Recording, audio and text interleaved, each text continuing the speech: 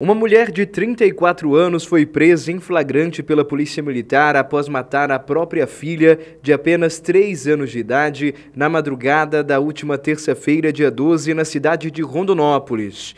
A mulher também tentou matar o filho adolescente de 15 anos. A mãe possui crises psicológicas.